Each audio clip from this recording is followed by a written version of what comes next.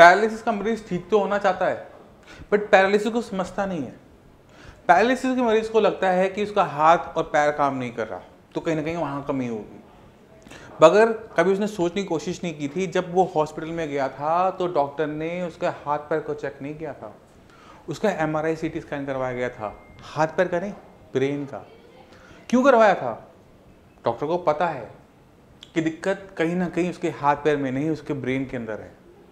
Brain के अंदर ऐसा क्या हुआ था? हमारे दिमाग के अंदर ऐसा क्या होता है कि हमारा हाथ पैर पैरालिसिस के अंदर बंद हो जाता है? जब भी किसी को लकवे का अटैक हुआ, पैरालिसिस का अटैक हुआ तो दिमाग के अंदर या तो खून का थक्का आया होता है, या किसी टाइप की नस फटी होती है। अब खून के थक्के से आपका हाथ पैर कैसे बंद होता है, इसको समझना हर लकवे के मरीज़ के लिए ज़रूरी हो जाता है। खून दिमाग में जा रहा है तो उसके साथ क्या लेके जा रहा है? ऑक्सीजन दिमाग के सेल्स के लिए खाना पानी, अब उसमें क्लॉट आ गया। एक जो भाव है वो रुक गया। तो क्या होगा कि दिमाग तक खून ऑक्सीजन प्रॉपर तरीके से पहुँच पाएगा। अब अगर वहाँ पर खून नहीं पहुँचा ऑक्सीजन नहीं पहुँची खाना नहीं पहुंचेगी तो कितनी देर तक हमारे ब्रेन के सेल ज़िंदा रह पाएँगे? कुछ मिनट कुछ घंटे अब ये जो पहले चार घंटे होते हैं, ये लकवे के मरीज़ के लिए बहुत ज़्यादा इंपॉर्टेंट होते हैं। क्यों होते हैं, इसको समझने की कोशिश करना। अगर इन चार घंटे के अंदर ये क्लॉट निकल जाता है तो पैरालिसिस होता ही नहीं है, क्योंकि चार घंटे भूखे प्यासे रह सकते हैं। मगर अगर ये चार घंटे किसी से मिस हो जाएँ, पहले चार घंटे तो हम क्या देखते हैं कि पेशेंट का हाथ और पैर बंद हो जाता है। क्योंकि ब्रेन का वो हिस्सा, जो हाथ पैर को चलाता था उसे कंट्रोल करता था। वहाँ की मांसपेशियों को कमांड देता था कि तुमने अब हिलना है, ऐसे उठना है, ऐसे बैठना है, वो खराब हो गया। यानी आपकी कंपनी का बॉस अगर खराब है तो उस कंपनी को डूबने से कोई नहीं बचा सकता। इसी तरह से अगर ब्रेन का एक हिस्सा जो आपके हाथ पैर को चलाता था, वो खराब हो जाए तो आपको पैरालिसिस से कोई नहीं बचा सकता। अब अगर दिमाग के अंदर नस फटती है तो दिमाग के अंदर खून फैल जाता है। फैल गया तो भी दिमाग को नुकसान हुआ। तो कहने का मतलब ये है कि लकवा सबसे बड़ा कारण दिमाग के हिस्से को नुकसान पहुँचना ही है। अब दिमाग का एक हिस्सा मर गया तो उसको ज़िंदा कर सकते हैं? नहीं कर सकते। क्यों? क्योंकि वो मर गया। अगर कोई डॉक्टर दिमाग के हिस्से को दोबारा से ज़िंदा कर दे तो शायद वो पूरे शरीर को ज़िंदा कर सकता है। और ऐसी ताकत किसी के पास नहीं है जो दिमाग के हिस्से को दोबारा से ज़िंदा कर दे।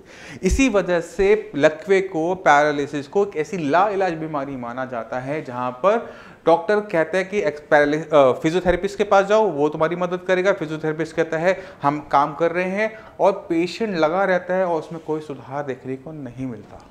मगर कभी समझने की कोशिश की कि जब आपके ब्रेन का वो हिस्सा मर गया था, आप बिल्कुल बेड पे थे, हाथ नहीं चल रहा था, पैर नहीं चल रहा था, आवाज़ नहीं चल रही थी तो पहले छः महीने में आपके शरीर के अंदर सुधार कैसे आया? कैसे चलने लगे? कैसे बोलने लगे? क्योंकि दिमाग का वो तो हिस्सा तो मर गया था।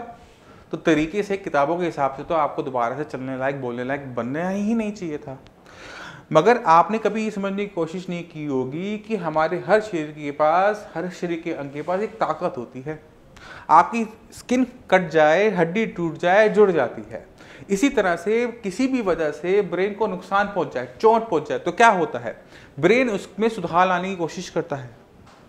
और वो जो सुधार लेकर आता है और वही आपको पहले छह महीने में खड़ा कर देता है। चलने लायक बना देता है, बोलने लायक बना देता है, हाथ चलने लग जाते हैं, बात करने लायक लग जाते हो, चीज़ों को समझने लायक लग जाते हो, मगर छः महीने के अंदर ये सुधार आना बंद हो जाता है। यानी अगर आज मुझे लकवा हुआ तो अगले छः महीने में मेरे में जो सुधार हुआ, वो हुआ।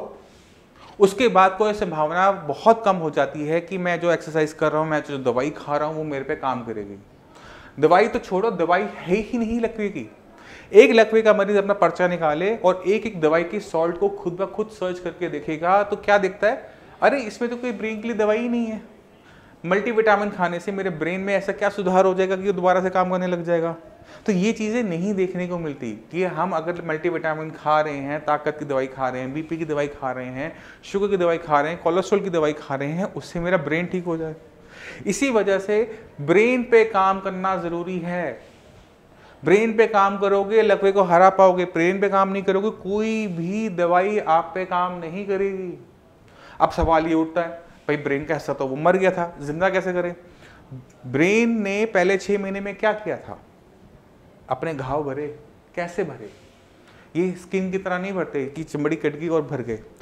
ब्रेन के जो सेल होते हैं, वो आपस में बातचीत करते हैं। यानी अगर मैं आपसे बात कर रहा हूँ तो मैं बहुत सारे दिमाग के हिस्सों को इस्तेमाल कर रहा हूँ। एक हिस्सा दूसरे हिस्से से बात कर रहा है। ये बात कैसे करता है? इनमें कोई फ़ोन तो होता नहीं। फ़ोन उठाया, कॉमनी, इंटरकॉम उठाया, सामने वाले डिपार्टमेंट को बोल दिया हाँ जी, ये काम करना है। ऐसा तो होता नहीं। तो इनके बीच में एक संचार प्रक्रिया होती है। एक कनेक्शंस होते हैं, जिन्हें हम कहते हैं इंटरडेंड्राइट कनेक्शंस ये आपस में इलेक्ट्रिकल सिग्नल सेंड करते हैं। मुझे कुछ चाहिए, मैं इलेक्ट्रिकल सिग्नल सेंड करूँगा, दूसरा हिस्सा उसको लेगा और आगे उसको रिले करेगा। तो ये जो कनेक्शंस होते हैं, ये हमें सोचने की, समझने की शक्ति देते हैं। और किसी के दिमाग में ये जितने इंटरडेंट्राइड कनेक्शन जितने ज़्यादा कॉम्प्लेक्स होते हैं, जितने ज़्यादा कॉम्प्लिकेटेड तरीके से बने हुए होते हैं, दिमाग उतनी ही ऊँचा सोच पाता है। हर इंसान पढ़ाई में अच्छा नहीं होता। हर इंसान कैलकुलेशन में अच्छा नहीं होता। हर इंसान एस्ट्रोनॉट नहीं बनता। हर इंसान एक जैसा नहीं होता है क्योंकि हमारे दिमाग के अंदर ये जो इंटरडेंटेंट कनेक्शंस हैं, ये अलग अलग तरीके से बने हुए होते हैं। इसी वजह से हम अलग अलग काम करने में अच्छे होते हैं। ये जो इंटरडेंटेंट कनेक्शंस हैं, ये जो कनेक्शन है, जो दिमाग आपस में एक दूसरे से बात कर रहा है कि ठीक है, ये हाथ उठाना, ये पैर उठाना है। कनेक्शंस है ना, वो एक को कमांड करते हैं, फिर वो कमांड धीरे धीरे हमारे हाथ की मांसपेशियों तक आती है, हमारी नर्व्स तक आती है नर्व कहती है, ठीक है, मांसपेशियाँ उठ जाओ। कनेक्शन है ना, दिमाग से आपके हाथ का क्या कनेक्शन है? तो पूरा जाल बिछा हुआ होता है हमारी बॉडी के अंदर नर्वस सिस्टम का नर्व्स का। और अगर ब्रेन ने कुछ भी काम लेना होता है तो वो अपने नीचे नर्व्स को बोलता है कि, जाओ यहाँ पर हाथ को हिलाओ, ये उंगलियाँ हिलाओ, इसको बोलने की ताकत दो, इसे समझने की ताकत दो। तो ये इंटरडेंड्राइट कनेक्शंस बहुत ज़्यादा ज़रूरी होते हैं और यही काम करते हैं। और वो उन्हीं में काम करते हैं जहाँ पर सेल ज़िंदा हैं। मरे में नहीं बन पाएँगे, मरे वाले तो मर गए। उसे भूल जाओ, पूरी तरह गवा दिया हमने उसको। तो जो हमारे ज़िंदा सेल हमारे ब्रेन में बचे हुए हैं, जिनको किसी टाइप का नुकसान, खून की थक्की की वजह से या फिर ब्रेन हैमरेज की वजह से नहीं हुआ वही सेल अपने अंदर और इंटर इंटरडेंट्राइट कनेक्शंस को बनाकर और कॉम्प्लेक्सिटी को लाकर उस काम को करना सीखते हैं। एग्ज़ाम्पल समझने की कोशिश करो। मैंने यहाँ से जाना है चंडीगढ़। अब हमारे दिल्ली में किसान आंदोलन चल रहा है इस समय। पूरा बाईपास बंद कर रखा है। पूरी रोड हाईवे बंद कर रखा है। तो क्या मैं चंडीगढ़ जा पाऊँगा या नहीं जा पाऊँगा? मैं जा सकता हूँ। मैं गाँव का छोटा रास्ता ले लूँगा। टाइम ज़्यादा लगेगा बट मैं पहुँच जाऊँगा। है ना? तो इसी तरह से ब्रेन भी काम ये करता है कि जो हिस्सा डैमेज है, उसको बाईपास करके निकल जाता है। क्यों? कैसे कर गया? इंटरडेंड्राइट कनेक्शन से कर गया। तो ये जो सेल जो हमारे ब्रेन में बचे हुए होते हैं, उनके अंदर अगर हम इंटरडेंड्राइट कनेक्शन को और कॉम्प्लेक्स कर देते हैं तो कोई भी पैरालिसिस का पेशेंट दोबारा से चलने, बोलने लायक बन सकता है। हाँ या ना? हाँ। अब ये इंटरडेंड्राइट कनेक्शंस पहले छः महीने में तो अपने आप बने। किसी दवाई की ज़रूरत नहीं थी। अब इस इस टाइम के अंदर मरीज़ किसी गुरुद्वारे जाता है, मंदिर जाता है, दवाई करता है फिजियोथेरेपी करता है तो उसको सब में आराम मिलता है। क्योंकि ब्रेन कर रहा है। कोई दवाई नहीं कर रही। ब्रेन अपने आप कर रहा है तो इस टाइम में किसी का भी हाथ लगता है तो मरीज़ को लगता है कि हाँ मैं ठीक हो जाऊँगा। ये छह महीने बीत गए, उसके बाद आप किसी भी जगह चले जाओ, आपको सुधार नहीं मिलता। क्यों? क्योंकि ब्रेन कर ही नहीं रहा। तो हमें डीप जाना होता है, दिमाग के अंदर जाकर उस हिस्से को पकड़ना होता है जहाँ पे ज़रूरत है। हमें उन इंटरनेट कनेक्शंस को बढ़ाना है, उन्हें और कॉम्प्लेक्स करना है। अब सवाल ये उठता क्या हम कर सकते हैं? कर सकते हैं। कैसे? उसको समझाने की कोशिश करता हूँ। एक बच्चा जब पैदा होता है तो उसके दिमाग के अंदर ये जो न्यूरॉन्स होते हैं नंबर ऑफ़ न्यूरॉन्स हम एक बता देता हूँ, बात बताता हूँ। आपको पता नहीं होगी, जो हमारे दिमाग के अंदर न्यूरॉन्स होते हैं, जो सेल्स होते हैं, जो हमारे दिमाग को बनाते हैं, वो हमारे पैदा होने से लेकर हमारे मरने तक इक्वल मात्रा में रहते हैं। वो बढ़ते नहीं हैं। हमारा दिमाग का साइज़ बड़ा होता चला जाएगा। मगर सेल्स उतने ही रहेंगे। मगर हमारे किसी शरीर के हिस्से में ऐसा नहीं होता। वो मात्रा में बढ़ते हैं, संख्या में बढ़ते हैं और वो विकास का दर शुरू होता है। तो ब्रेन जब छोटा था तो न्यूरॉन्स उतने ही थे जितने अभी हैं। हो सकता है उससे कम हो। मगर ब्रेन ने विकास किया क्योंकि उसने अपने अंदर इंटरडेंट्राइट कनेक्शंस को बढ़ाया। नेचुरल तरीके से बढ़ाया। ये जो नेचुरल प्रक्रिया है, अगर हम इसे दोबारा से इनिशिएट कर सकें किसी भी तरीके से कि ब्रेन के अंदर जो इंटरडेंडेंट कनेक्शंस बन रहे हैं, वो और कॉम्प्लेक्स हो जाए, और डेवलप हो जाए तो क्या होगा? पैरालिसिस के मरीज़ के हाथ पैर में दोबारा चलने की, बोलने की क्षमता आ जाती है। और इसको करने के लिए हमें ब्रेन को और गहराई से समझना पड़ता है, क्योंकि ब्रेन की ये जो नए कनेक्शन हैं, ये एज पर रिक्वायरमेंट बनते हैं। यानी अगर मुझे बोलने की इच्छा कर रही है, मैं बोलना चाहता हूँ, मैं तभी बोल पाऊँगा, क्योंकि तभी मेरे ब्रेन के अंदर वो कनेक्शंस बनेंगे जो मुझे बोला पाएँगे। यानी अगर मैं चलना चाहता हूँ तो मुझे चलने की कोशिश करनी पड़ेगी। अगर मैं कोशिश नहीं करता तो ये कनेक्शंस नहीं बनेंगे। तो ज़रूरी हो जाता है सही एक्सरसाइज का सिलेक्शन आप कोई भी एक्सरसाइज करोगे, आप सोचते हो कि उससे आप ठीक हो जाओगे, कभी भी नहीं हो सकता। क्यों नहीं हो सकता? क्योंकि आपने अपने ब्रेन को उस तरफ़ धकेला जहाँ पर उस एक्सरसाइज के लिए जो मांसपेशी चाहिए, उनको चलाने के लिए जो कनेक्शन चाहिए, वहाँ पर वो बने। तो हमें एक एक्सरसाइज वो सिलेक्ट करनी पड़ती है जो आपके ब्रेन को, आपके ब्रेन को डेवलप करे एक पर्टिकुलर काम के लिए। एग्ज़ाम्पल से समझो। मैं बैंक में कैशियर हूँ। मेरी आज पहली दिन है नौकरी का। मैं नोट गिन रहा हूँ। पीछे लाइन लग जाती है। याद है? पुराने दिन तो काउंटर नहीं हुआ करते थे नोट के। तो हम खड़े रहते थे कि मेरी बारी कब आएगी, कब वो अपने नोट गिनेगा और कब वो, है ना? मगर कुछ टाइम के बाद हम जाते हैं तो वही कैशियर फटाफट फटाफट फटाफट नोट गिन रहा होता है। कैसे गिन पाता है? क्योंकि उसने उस काम को दिन बाय दिन, रोज के रोज करता रहा। और जब उसने इतना किया कि वो उसमें निपुण हो गया अच्छा हो गया। तो हमने एक्सरसाइज को भी वो सिलेक्ट करना होता है जो पैरालिसिस मरीज़ को दोबारा से चला सके। वो तैर नहीं पाएगा, मानता हूँ। वो साइकिल नहीं चला पाएगा, मैं वो भी मानता हूँ। मगर वो चलने में बेटर होगा। तो हमें ये समझ में आ गया कि ब्रेन को हम सब चीज़ों में दोबारा से पहले जैसा नहीं कर सकते कुछ चीज़ों में हम उसको बेटर कर सकते हैं। तो पहला काम हमने न्यूरोप्लास्टिसिटी को ऑन किया, हमने इंटर इंटरडेंटराइट कनेक्शंस को ब्रेन के अंदर बढ़ाया और उसके बाद उनको रास्ता दिखाया। सही रास्ता। गलत रास्ता पकड़ा तो उसका जो रिज़ल्ट है वो भी गलत होगा। और एक्सरसाइज बहुत सिंपल है। कुछ नहीं है। अगर आप चलना चाहते हो तो चलो। अगर आप चलने से चूक जाओगे, आप साइकिलिंग करोगे कि बैठ की होती है तो आप बैठे ही रह जाओगे, कभी चल नहीं पाओगे। इसलिए फिजियोथेरेपी जब हम करवा रहे होते हैं तो हम एक चीज़ नोटिस करते हैं कि पेशेंट लेट की जो एक्सरसाइज करता है, उसमें अच्छा होता चला जाएगा। फिजियोथेरेपिस्ट का देखो, कमर उठा रहा है, देखो, पैर चलने लग गया, देखो, ये होने लग गया, मगर मरीज़ को खड़ा कर दो, सब ज़ीरो हो जाता है। किसी काम की नहीं होती वो एक्सरसाइज हमें ये चीज़ें बहुत देर से समझ में आती हैं। तो ज़रूरी है सही एक्सरसाइज का सिलेक्शन और ब्रेन के अंदर इंटरडाइटेंट कनेक्शन को बढ़ाना, जब ये दोनों चीज़ें साथ साथ होती हैं पैरालिसिस का मरीज़ की लाइफ सुधर जाती है। और वही तो हम चाहते हैं कि वो दोबारा से चलने लगे, दोबारा से बोलने लगे, दोबारा से उसके अंदर वो जो उसके काम, वो जो करता था, अपने काम जो करता था, कम से कम उतना तो करने लगे। तो ज़रूरी है बीमारी को समझना और गहराई से समझना। जब हम उस बीमारी को गहराई से समझ जाएँगे, उस पर जड़ से काम करेंगे, सही तरीके से काम करेंगे, सही एक्सरसाइज का सिलेक्शन करेंगे, सही तरीके से डाइट फॉलो करेंगे तो हम ठीक क्यों नहीं होंगे? हम हो सकते हैं, हमें करना पड़ेगा, हमें होना है। ये जज्बा अपने अंदर लेकर आना है और आज से इस काम को शुरू करना है, क्योंकि जितना लेट आप करोगे, उतनी ही बीमारी पक्की होती चली जाती है। ऐसा नहीं है कि मेरी दस साल पुराना तो वो ठीक नहीं हो सकता। वो भी ठीक होता है टाइम ज़्यादा लगता है। और अपने आप के अंदर कमियाँ देखने में कोई हर्ज नहीं होता। अपनी दवाइयों के अंदर कमियाँ देखने में कोई हर्ज नहीं है और अपने डॉक्टर के अंदर कमियाँ देखने में कोई हर्ज नहीं है। क्योंकि कोई भी पूरा नहीं है। मगर जब सारे मिलके काम करते हैं, सही तरीके से काम करते हैं, सही डायरेक्शन में काम करते हैं तो पैरालिसिस पेशेंट की लाइफ बदल जाती है। अब मैं आपको कुछ पेशेंट दिखाता हूँ, खुद ब खुद देखना और खुद सोचना कि ये जो पैरालिसिस का पेशेंट है, क्या बता रहा है। आपको अपने आप समझ में आ जाएगा कि हम भी सुधार अपने अंदर लेकर आ सकते हैं, अगर हम सही तरीके से, सही डायरेक्शन में मूव करते हैं तो।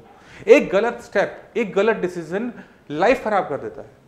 नमस्कार, मेरा नाम है डॉक्टर पुरु धवन और आज हमारे पास एक पेशेंट ऐसे हैं जिनको क्लॉट आया था राइट साइड में राइट साइड ब्रेन में क्लॉट आने की वजह से इनका left side of body paralyse हो गया था। कंडीशन कुछ ऐसी थी कि जब हमारे पास आए तो चल तो लेते थे, मगर हाथ की जो फिंगर्स थी वो बिल्कुल क्लॉ फॉर्म में थी बिल्कुल मुड़ी हुई थी खुलती हुई थी और हाथ उठता नहीं था। तो चलते हैं पेशेंट के पास और देखते हैं कि पेशेंट को कितना इंप्रूवमेंट मिला एक महीने के साइंस संजीवनी के ट्रीटमेंट तो लक्ष्मी जी आपको ये दिक्कत कब शुरू हुई? कब हुआ था पैरालिसिस का अटैक मेरे को हुआ था सर होली वाले दिन सुबह आठ सवा आठ। आठ सवा आठ बीस मार्च को। बीस में और तब क्या दिक्कत हुई थी? तब सर मेरे को मैं आके सिर्फ़ काम पे से आठ बजे आके सवा आठ बजे खड़ा हुआ था सिर्फ़ चाय चाय पी थी मैंने। अच्छा। चाय पीने के बाद मेरे हाथ में और पैर में एकदम सरसराहट सी महसूस हुई। हम्म। मैं ये चाय लेके आई थी मैं सिर्फ़ मैंने चाय पी थी। हम्म। मैंने उनसे कहा मैं कहा, मेरे को कुछ अजीब सा महसूस हो रहा है। हम्म। तो मेरे से बोली क्या हुआ? मैंने कहा मेरे को कुछ अजीब सा महसूस हो रहा है। मैं कहा मेरे हाथ और पैर में चीटियाँ से चल रही हैं। अच्छा। तो इतनी देर में तो मैं लड़खड़ा के गिर पड़ा था। अच्छा। तो इन्होंने संभाल लिया। मेरा बेटा था मेरी बेटी थी दोनों घर। तो स्कूटर पर बैठा के मुझे आर एम ले गए थे। तो वहाँ जाके मेरा ट्रीटमेंट चला था चार दिन। उसके बाद उन्होंने मेरे को डिस्चार्ज कर दिया। तो जब वहाँ से आए तो क्या कंडीशन थी? उस समय तो मतलब मतलब लेफ़्ट हैंड साइड पूरी अनकॉन्शियस थी। कोई मतलब मेरे फेस वगैरह पे आँख वगैरह पे पूरा लेफ़्ट साइड हो चुका था। हम्म। वॉइस भी चली गई। अच्छा और जब साइंस संजीवनी में आए तो क्या कंडीशन थी? साइंस संजीवनी में जब आया तो मैं चल तो रहा था मगर मेरा हाथ काम नहीं कर रहा था। हाथ की क्या कंडीशन थोड़ा सा बताओ। हाथ कंडी हाथ की मेरी कंडीशन हाथ मेरा पहले इतना उठता था। हम्म। और मुड़ा रहता था? और मुड़ा रहता था कैसे मुड़ा रहता था? फिंगर मेरी ऐसे मुड़ी रहती थी। अच्छा अब अब पूरा हाथ उठाओ अब, अब मेरा हाथ ऊपर उठता है और फिंगर मेरी सीधी हो सीधी हो गई अब चीज़ों को पकड़ने में दिक्कत तो नहीं होती? नहीं। पकड़ो पेन उठाओ उल्टे हाथ से। पहले कर पाते थे इसको? नहीं पहले नहीं पहले नहीं कर पाते थे। अब कितने टाइम में ये हुआ? एक महीने के अंदर ही सारा सुधार हुआ। तो आपने खुद देखा कि पेशेंट के अंदर वो चेंजेस जो चाहिए होती हैं जो उसकी इम्प्रूवमेंट रुक जाती है वो शुरुआत करने के लिए हमें हाथ पैर की मसल्स पे काम नहीं करना पड़ता। हमेशा ब्रेन पेशेंट की ब्रेन पे काम करना पड़ता है क्योंकि वहीं पर क्लॉट आया था वहीं पर डैमेज हुआ। जब तक हम ब्रेन पे काम नहीं करते पेशेंट के हाथ पैर में कभी भी पावर नहीं आती। जो रुकी हुई इंप्रूवमेंट थी जो रुक गई थी जो हाथ में मूवमेंट नहीं थी उंगलियाँ मुड़ी हुई थी वो सिर्फ़ वन मंथ के ट्रीटमेंट में पेशेंट की कंडीशन कुछ ऑलमोस्ट नॉर्मलाइज हो गई है। अभी एक महीना हुआ है अभी हम थोड़ा सा और आगे चलेंगे दो तीन महीने का कोर्स करेंगे उसके बाद मुझे नहीं लगता कि आपको और ट्रीटमेंट लेने की ज़रूरत पड़ेगी। डॉक्टर साहब मुझे कोई दिक्कत नहीं मैं छः महीने की दवाई खा लूँगा मगर मुझे सही अच्छा ठीक है। चलिए इतना लंबा तो नहीं जाएगा आपका क्योंकि काफ़ी अच्छी इंप्रूवमेंट हो चुकी है जितनी इंप्रूवमेंट इस महीने आई है इतनी अगली महीने आ जाएगी तो आप ऑलमोस्ट हो चुके होगे। अभी सुनने में आया आप बाइक से आए हो बाइक चला कर आए हो? पिछले महीने बाइक चलाते थे। नहीं। नहीं चलाता नहीं बेटे के साथ में कि बेटा मेरा कितने कितने टाइम के बाद आपने बाइक चलाई है? चार महीने। चार महीने चार महीने बाद। ठीक है। इनमें बहुत तेज़ी से बहुत अच्छी इंप्रूवमेंट आने का एक रीज़न ये भी है कि इनकी जो डैमेज हुआ था उसको भी बहुत ज़्यादा टाइम नहीं हुआ था। अगर ये पेशेंट सिक्स मंथ के बाद आता तो उसमें इंप्रूवमेंट धीरे धीरे होती। क्योंकि ये अपने उस टाइम के अंदर आए जब ब्रेन के अंदर डेवलपमेंट हो रही होती है तो ज़रा सा भी हम उसको पुश करते हैं तो वो तेज़ी से इंप्रूवमेंट दिखा देता है। तो खुद समझ गए आप। तो ज़रूरी है पहले अपने अंदर इच्छा भरना कि मैंने ठीक होना है, मैं ठीक होके रहूँगा, मैंने आज अपने अंदर, अपने जीवन को मैंने बदलना है। दूसरा काम एक्सरसाइज मैं एक करूँगा और उसे इतना करूँगा कि मैं उसमें अच्छा हो जाऊँ। मुझे नहीं करनी कोई फालतू एक्सरसाइज मैंने अगर चलना है तो मैं अपने सिर्फ़ चलूँगा और सही तरीके से पैर को रखूँगा, पैर को घुमा के नहीं रखूँगा, मैं लिंपिंग नहीं करूँगा, मैं इस तरह से चलूँगा जैसे रस्सी के ऊपर कोई चलता है। एक पैर के दूसरा पैर, दूसरे पैर के तीसरा पैर। कितना मुश्किल है इसको चलना। टाइम न लगता है, मेहनत लगेगी जो लगेगा, इससे ज़्यादा कुछ नहीं होने वाला और कुछ भी बर्बाद नहीं होने वाला। सब आपके काम आने वाला है। तो पैर को ठीक करने के लिए एक सिंपल एक्सरसाइज सिर्फ़ चलना। सोच रहे हो, समझ रहे हो कि मैं सिर्फ़ चलने में अच्छा हो पाऊँगा। मैं ना उठक बैठक में हो पाऊँगा, मैं ना मुझे साइड में ऐसे ऐसे चलना है, ना मैंने ऐसे ऐसे चलना है। बट मैं जब मैं सीधा चलता हूँ तो मैं बिल्कुल परफेक्ट तरीके से चलता हूँ। मैं साइकिल नहीं चला पाऊँगा, मानता हूँ, मैं स्विमिंग नहीं कर पाऊँगा, मैं पैर को नहीं हिला पाऊँगा बट मैं चल अच्छे तरीके से रहूँगा। तो मैं एक जगह से दूसरी जगह आराम से जा सकता हूँ, कहीं घूमने जा सकता हूँ। तो ज़रूरी है सही एक्सरसाइज का सिलेक्शन ठीक है? तो मैं उम्मीद करता हूँ कि इस लकवे को आज आप गहराई से समझ गए होंगे। और कोई भी पेशेंट आपको लकवे का मिलेगा तो आप समझा भी सकते हो कि भाई आपके यहाँ दिक्कत क्या है। और ये बहुत ज़्यादा ज़रूरी हो जाता है आज के ज़माने में जब चीज़ें बहुत बदल गई हैं। क्योंकि अगर आप बीमारी को समझते नहीं हो तो आप उसे निकल भी नहीं सकते। अगर आज आप बीमारी को समझ जाते हो, उसकी जड़ को समझ जाते हो तो उसको वहीं से ख़त्म करना कितना आसान हो जाता है। आज तक आपको लगता था कि आपका हाथ पैर नहीं चल रहा। आज आपको पता लगा कि दिक्कत तो हमारे ब्रेन के अंदर है। तो मैं उम्मीद करता हूँ कि इस वीडियो से आज आपके लाइफ में कुछ ना कुछ चेंज होगा, बदलाव होगा और अच्छे डायरेक्शन में जाएगा पॉजिटिव साइड जाएगा।